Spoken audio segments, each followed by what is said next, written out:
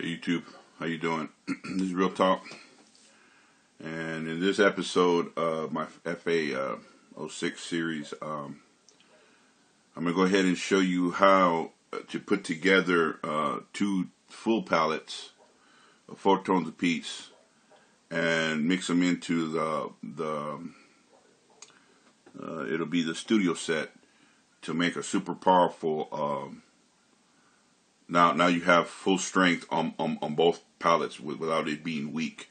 The last video that I did, it was a little bit weak. The brass was weak, the piano was weak. So now I'm going to show you how, how to have all four tones in a patch and, and, and do another manual crossfade, but we're going to do it in, in the studio set. So let's get started. okay, I've already copied uh, what I needed to copy into uh, the 249 slot here. That's going to be my first sound, and then the second one is going to be uh, 250 sound. That just saved me the hassle. You know, so just whatever sounds you're working with, go get an empty slot and copy them into a different slot so that you don't uh, you don't overwrite your original sound. Because believe me, you're going to be mad. You're going to be pissed off if you overwrite your original sound, especially if you worked on them. So I always work on on new patches. Okay. So, uh, in this one, uh, I'm going to use, uh, this is going to be the piano. And in this case, I'm going to write it for uh, Let's Groove Tonight. Okay, so.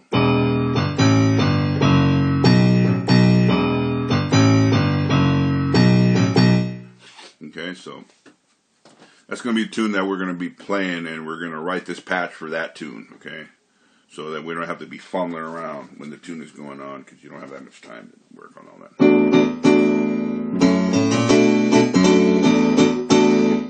Okay, so now what, the first thing we're going to have to do is that when we depress the pedal, we're going to have to make this disappear. Okay, so we, uh, this is what I showed you in the in the previous video, so it should be really easy. And in this case, uh, this only has one one tone, but technically this could have four tones but this only has one tone ignited. So this is going to be real simple. We're going to go over here to to to uh, 64. We're obviously going to check the control to make sure that it's turned off because if it's turned on, then it's going to be like a lot of sustaining, and you definitely don't want any sustaining going on. So you want to turn off all the hold RX hold. Go over here, and you're going to want to go to uh, number one. Turn every other tone palette off, and you're going to want to put it to level and negative 63. So with it with it working, uh, it's fine. But as soon as you press the pedal, there's nothing. Okay, and that's exactly what you want. Then you're going to want to ride it. And what I like to do is I like to mark them. Just that way, uh, when in the display, as soon as you see the, as soon as you see the patch just by the display, it's marked in such a way that as soon as you see it, you're going to know that it, it's it's a it's a crossfade that you've done. So, and I like to use the little uh, the little uh, arrow up symbol. You can use any symbol you want, but that seems to work for me. Or you can use that one or the equal or I don't know whatever whatever symbol you want here. I just like to use the little uh, up symbol, like the little arrow up symbol, to tell me, okay, well this is a this is a manual crossfade in studio mode that I did. Okay, so it gives me that. So, uh, so now we play it, and then we step the pedal, and it disappears. Okay, great. So now let's let's move over one. Now on this one, we're gonna have to get it to not play when the pedal when the pedal is when it's just normal. There's nothing there, but when you step on the pedal, it comes in. So that's very easy to do. So we're going to go to effect. We're going to hit shift. No. Going to hit shift, tone edit. Go up to uh, TVA. We're going to mark uh, we're going to mark all four of them and then we're going to drop down and just zero everything out. Now, on this one, since um, uh, the piano and the brass have a different volume, we're going to have to set it like we did it before in the last video. We'll check all, all, all the holes, that's good. Now we're going to go to where it says, um, we're going to go to, to hold, and then we're going to set it to level. And we're going to call the first two the brass section. And we'll, we'll set that, and we'll and then let's check it. So when the when the pedal is depressed, the brass comes in. Okay, sounds pretty hot too. If you want to add the sax, the baritone in there, you can you can you can ignite the fourth one, and I I happen to have a baritone sax in there, so it'll come in even bigger. Except for the baritone, I like to keep separate with a separate level adjustment. So instead of having it equal to the horns to the to the brass, I'll I'll, I'll put it on the level number two, and then I'll, I can adjust the level separately, and then that way you know where it's at.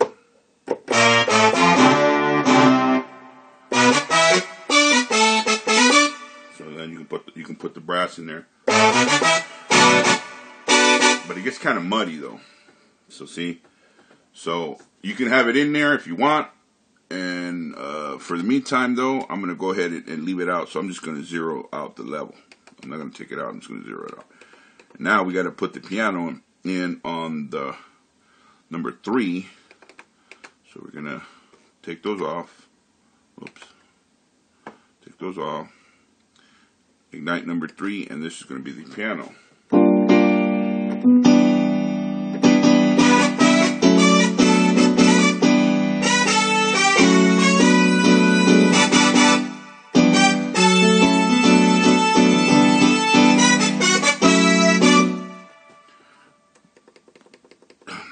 Since there's a lot of stabs going on, uh, you can add you can add the sax.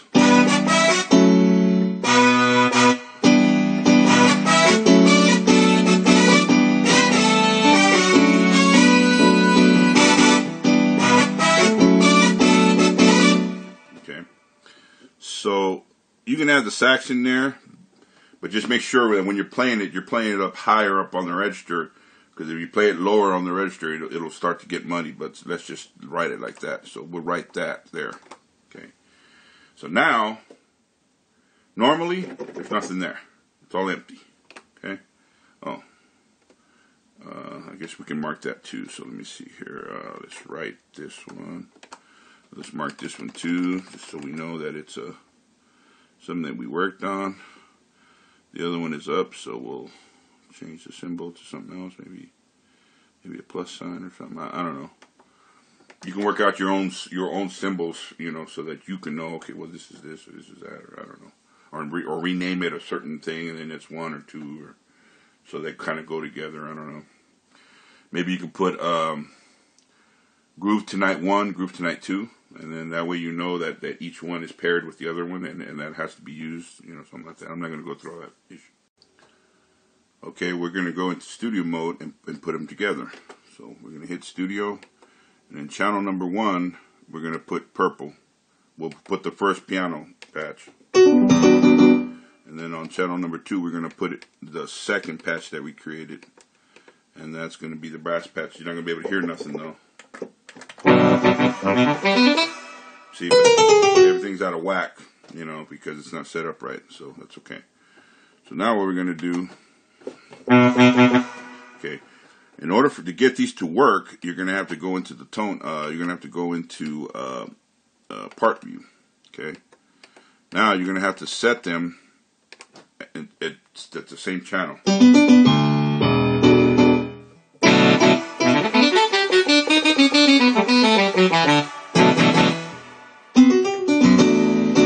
So now, now, now they're both connected to the same channel. Then you're going to exit. Going to go into tone edit. Actually, you're going to go to part view and then you're going to go into the where they you're going to go into the the effects. Okay. Now the effects are, are are all out of out of joint.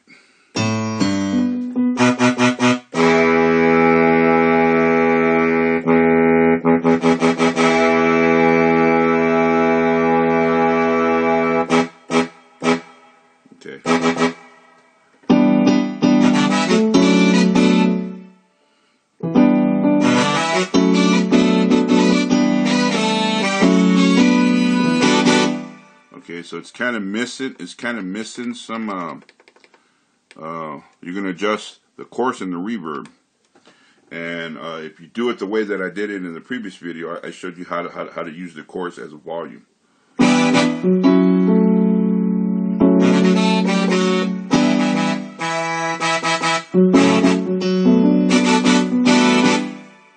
Okay, it seems like it's really hot, so we're going to come back to the main volume and then drop that volume.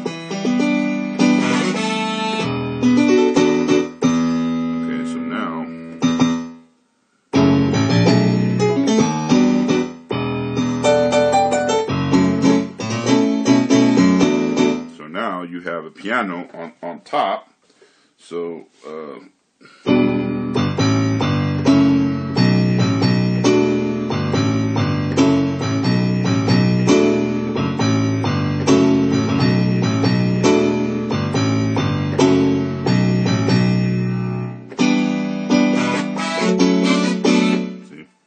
now when you step on your pedal, Now you can always add the, the reverb and then play around with, with, with the adjustments of the of the you know the reverb and the tails and all that stuff. You know, uh, if you want to adjust the actual uh, horn because it seems like the horn is really hot, you have to now exit, tone edit, and then you adjust the, the horn level.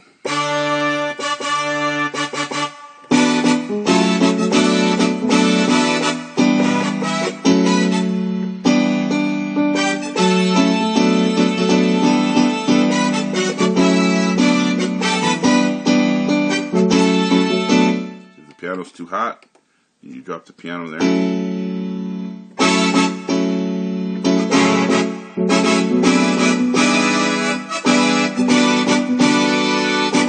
oh, here's some sour notes there.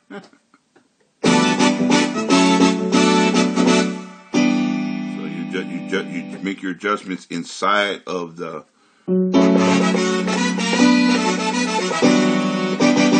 inside of the actual studio set. Okay,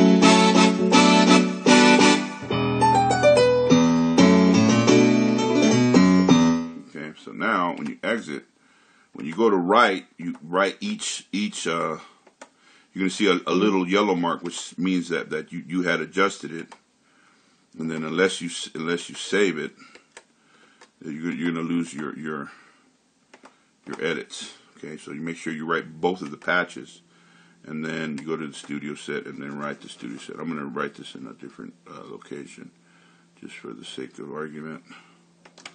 And now we have our Let's Groove Tonight patch.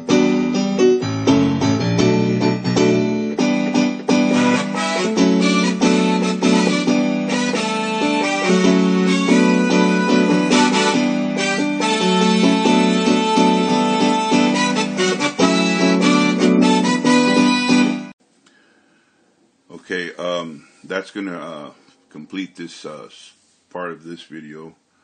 Um, and now that's the way that, that you would uh, do a manual crossfade with four four tones per patch in, in a studio set, which makes it like super big and powerful. Uh, and then you know the potential there is just great, and you guys can mess around and play around and, and you know see how, how that works out for you guys. Um, if you guys have any questions, uh, leave them in the comments, and then I'll see if I can answer them. Uh, I'll see if I can help you guys out. Um, so this is Real Talk, and uh, I'll come back at you guys with some more stuff uh, when time permits, and I'll catch up with you guys next time.